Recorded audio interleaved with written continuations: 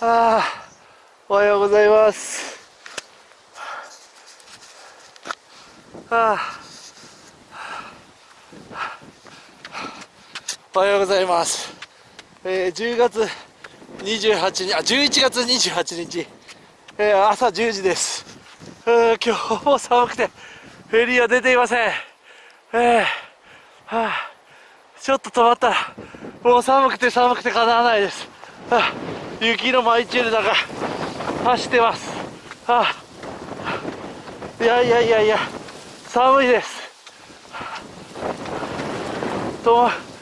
風が強いんで苫小牧の日ではありません。うわあちょっと、はあ、寒すぎです。うんうんこっちももう。ああああ顔が痛い。顔が痛い。それでは頑張って走ってまいりたいと思います。はあ寒い。止まって話ができる状況じゃございません。止まったら投資しそうです。ああ最後まで走り続けないと。やばいですこれは、はあ、すごい、はあ、でもこれからこういう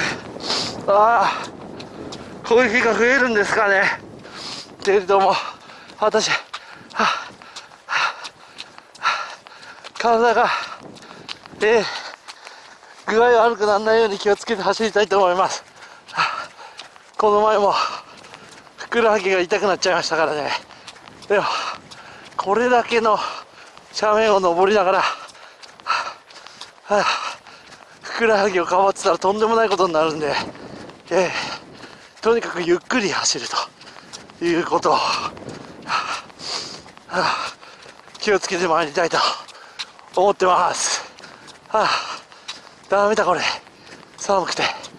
あ、苫小牧ではマイナス17度でも走ったということがありましたが、はあ、こっちのがやばいな。本当にやばい。はあ、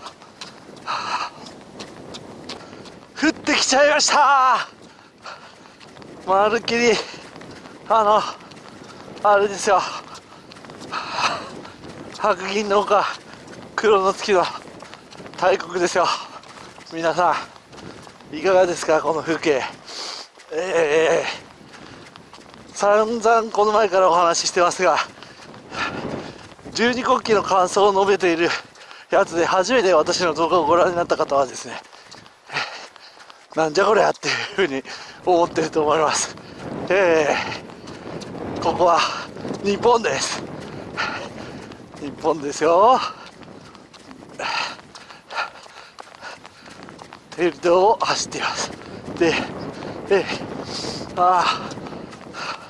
ああちょっと上がってる間にこんななっちゃいましたうわ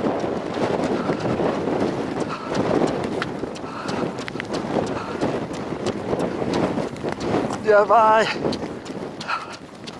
向か向かい風の上り。雪まで降ってる。いや山中鹿ですけどびっくり。これはこれはやばい。宇藤さんも来ないですよこの季節は。当たり前です。うわうわはあ、もっと南の方のはあ、はあ、鳥取県の沖の方まで行ってるそうです。お魚を食べに。はあ、はあ、当たり前です。今年生まれたカルパッチョたちもそっちへ行ってるのかな。ここへ来ると必ず思う。はあ。はあはあみんな元気かな？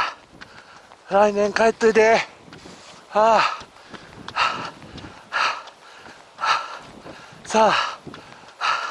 はあ。はあ。やっと3キロ。はあ。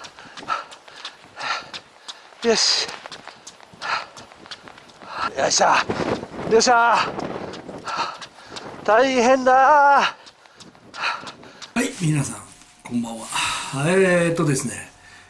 さっき昼間は昼間じゃない朝走っていてあんだけ寒かったからもう風が強くて強くてマイナス6度。そして風が強すぎて、えー、何にも声が入ってませんでした、えー、なので、えー、風が吹いている中喋っていたことは全然今、えー、パソコンで確認したら何にも入ってませんでした。なので、えー、ジョギング中に、えー、考えたり喋ったりしたことをもう一度うちに戻ってきてからもう仕事も全部終わってから、えー、家でもう一度喋ることにしました。で後ろにその喋った太陽を書いたんですけど前の時にもこのようにやりましたがこの方法すごくいいですね。何がこの方法がいいかっていうともう書いているうちに書いてるうちにですよ。もうこれはポスカでこんなでっかいぶっといポスカで書いてるんですけど。ちょっと今じゃあお見せしましょう。これです。こんなにぶっといんですよ。こんなにぶっといポスカで書いてるんですけどこれで書くと書くだけでえーと、自分の中の思考がこう整理されてよりはっきりしてきますね。とてもいい効果がありますね。パソコンの中で、えー、まあタイトル文字としてボーンと出せば、えー、この前の楽勝みたいにドーンと綺麗な文字が出てきますけどそれよりこっちの方がいいですね。自分のかうんなんだろう。自分でもこうまとまる考え方が。とてもいい方法だなという気がしましたね私ね。はい。それで、えーと、この虚子という人の人名なんですけどもこの十二国旗に出てきた今回の、えー、白金の丘、黒の月のあ重要人物、えー、同志の若い同志の方なんですけどもこの虚子という人の名前をちょっと調べてみました。そしたらこの「虚」っっていう字はですね、えー、死去とかあるように死ぬとかまああの立ち去るっていう意味があるんだそうですけども同時に同時に除くっていう意味もあるんですよ。それとこの死っていうのはどういう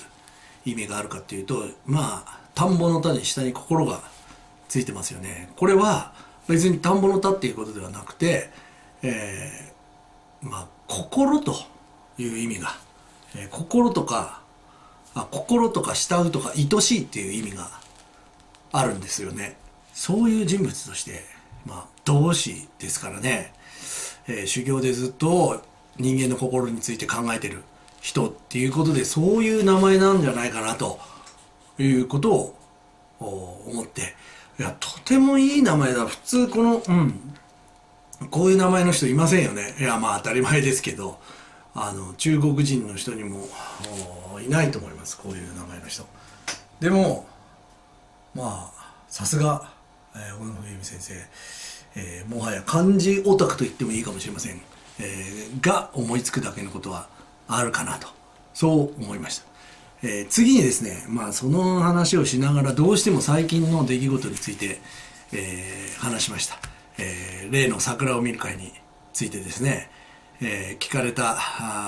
菅官房長官がですね、え反社会勢力の人があいたというのを答えていたんですけど一昨日。ところが昨日になって、えいたかもしれないけどいたかどうか承知しているわけじゃないと。あいたなんて言ってないと、えー、結果としていたかもしれないがあ承知はしていないと。ということで、えー、責任逃れとも言えるような対応に終始していました、えー、あの人のことを、まあ、あの人のね独特の木で鼻をくくったようなね、えー、何を質問されても指摘は当たらないとかね、えー、国のね、責任者、えー、いわば内閣のスポークスマンなのに、ね、報道に当たるのが仕事なのに、質問してくる記者に対して、こう、そういうふうに冷たく足だったり、ましてや質問するなというような圧力をかけたり、えー、答える立場にない、なんて言ったり、そういうことを含めて、まあ態度があまりにも、ズケズケしているので、すがごなんて言って、こう褒める向きもあったんですけど、今みたいにすごくこう攻撃されて、えー決定的な証拠も出てきちゃいましたね。えー今回で言えば、もう安倍事務所の領収書も出てきちゃったそうです。えー収支が発生していないという安倍首相は言ってたんですけども、安倍事務所が旅行会社ね、えー払ったよという領収書が出てきちゃったそうです。えーもう完全に、えー話としては済んでる話なんですけども、そういう時に謝れない。ただのスカスカ人間、スカスカ言葉を浪しているだけの人間だということが分かったわけです。えー見苦しいので、私神奈川県出身なんで、えー菅さんは実は地元の政治家になるんですが、えー神奈川県の恥ですから、えー見苦しいので早くやめてください。えーせめてやめて責任取るぐらいじゃないと正直言って、えー反社会勢力の人たちとこれだけ、えーねえー親しく写真も撮って、えー多くの人と写真を撮ってるからわからないなんていうそんな言い訳は聞きたくありません、えー芸能人の人ならもう永久追放です、えー芸能人やお笑いタレントよりもずっとずっと権力もありずっとずっと責任も重い。